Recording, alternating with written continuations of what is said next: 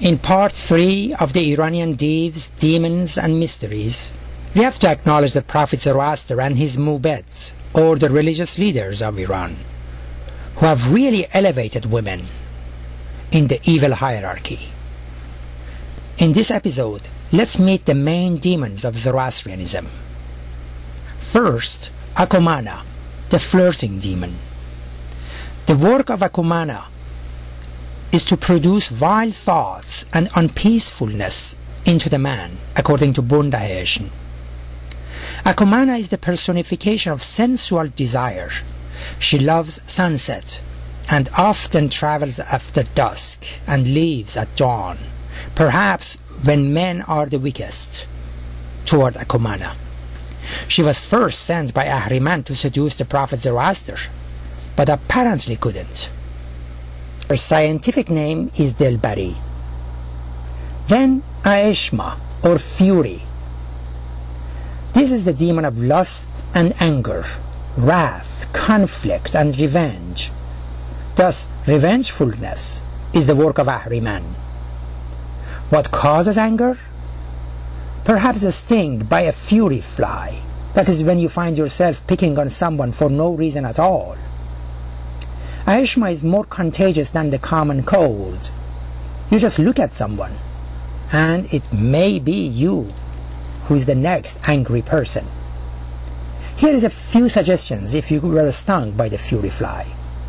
Think about something funny and something that you really like about the person. The next best thing is to bite your tongue or say nothing at all because whatever you say, you will regret later. And it is said that the Aeshma's offsprings are the demons with disheveled hair. So check your hair if you're angry, or comb it some more. The third demon is Indra. Indra is Puchi in Persian. Puch means nonsensical, of course, not a puppy. Indra is the personification of apostasy.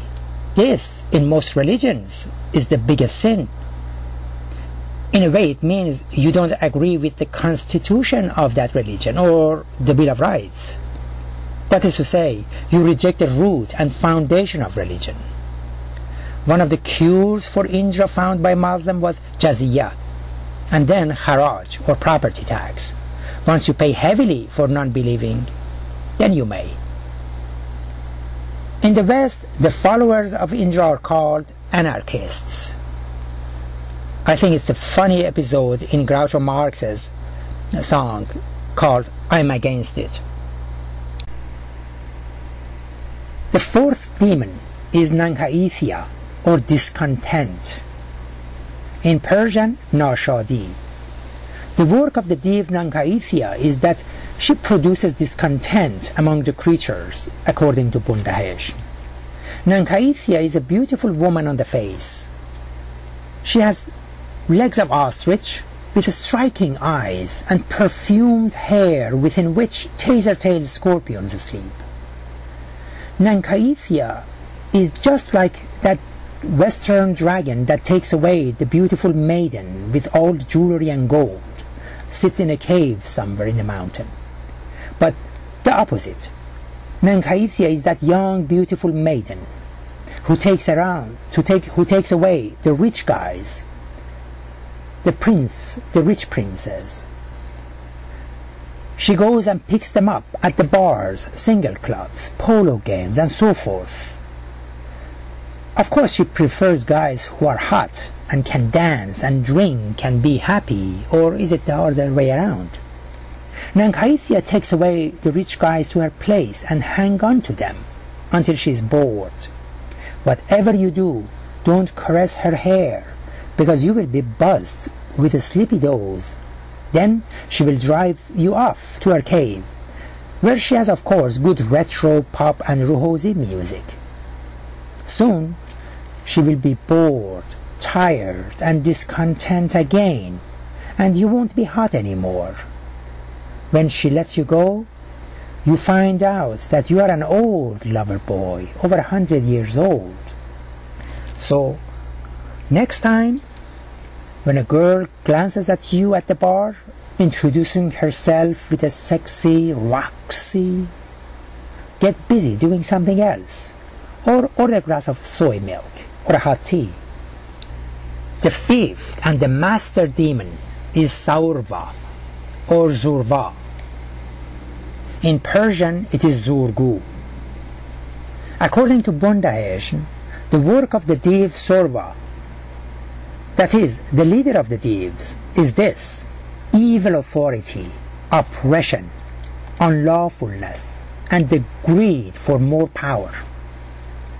This Div is called Surva in most Eastern European countries. In Bulgaria, he is called Antichrist, which matches with Zoroastrian beliefs. And when we talk about Islam, we will see Surva again as Taghut. His eternal opponent is Khashtravarya or Shahrivar. The sixth demon is Tariq, which represents hunger. This demon used to be very thin, but she found a good source of food, and now she heals hard into them and does not let anyone get near it. She knows if people are hungry, they get into all sort of crimes. She enjoys seeing poverty, to see people steal and kill to find food. So eat and drink and feed the, feed the others to be a good Zoroastrian. And help Horvatat or Hordad, which represents wholeness, to fight Tarikh. Oh, this one is my favorite one. Zarikh or Piri. Zarikh is person- personification of aging. She seems nice and helpful, and you are often impressed by clever things she says. She calls it wisdom and wants to take you to the golden age of man. Usually, women notice her first. A few days before their birthday, they keep seeing her everywhere they go. Men, even in their 70s, don't give a hoot if they run over the old hag with their Ferrari. Zarikh, just like vampires, bites you on the neck. So, if we have learned anything from Dracula movies, don't look at her in the eyes because you'll be at the dead end. And as I was reading about Zarikh, I read some interesting adage about the old age. Adage? Such as, age, take it if it is in sage, and leave it alone if it is in cage.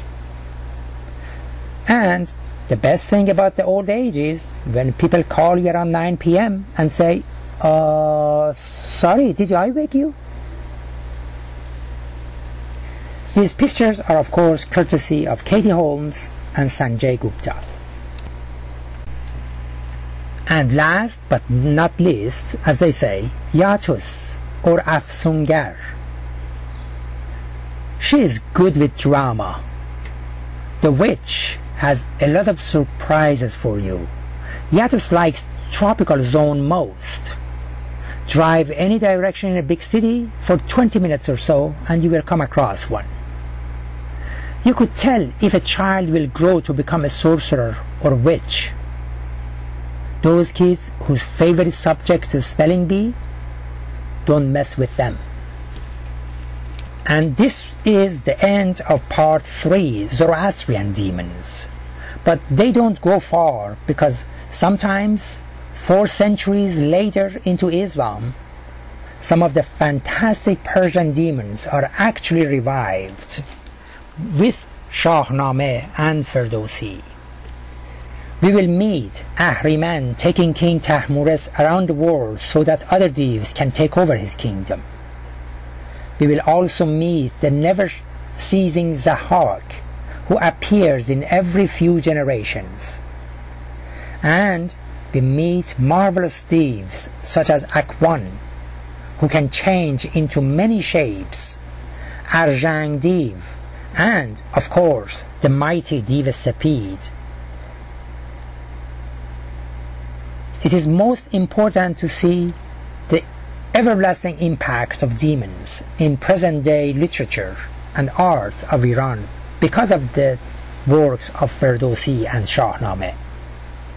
So make sure to visit episode 4 Islamic Demons.